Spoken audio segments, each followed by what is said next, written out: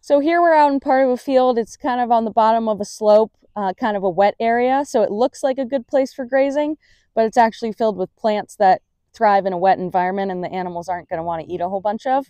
Uh, so I'll just show you a couple of those just so you know what to look out for when deciding on a pasture to graze and where is appropriate. So the first thing to look for is nutsedge. That's a really common one in wet areas around here in Vermont. Um, this is the seed head. When it gets to that mature point, you can look for this. It's pretty distinctive seed head. Uh, so that's an easy tell. But if it's not at that point, I'll show you what the leaves look like so, so that you know. Um, let's see. So let's dig in here, pull one out. All right, so here's a thick midrib. It's really, you know, kind of rigid and rugged. Um, so you'll kind of be able to tell that animals aren't going to want to eat it once you feel it but then it also has a triangular stem. So if you roll it in your fingers, it'll actually kind of, you know, you can feel the corners of the stem. It's not a round stem like a lot of the good grasses that we want to see.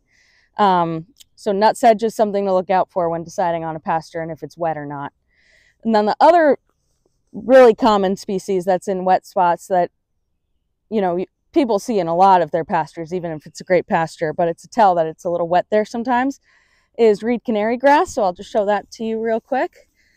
Um, you know, animals will eat it when it's really little. Uh, it's a bit more palatable, but once it's this tall, they're not going to want to eat it. I mean, this stem is really stiff and fibrous and kind of yucky. And then the leaves are really thick like this, triangles, and it grows in patches, as you can maybe see behind me.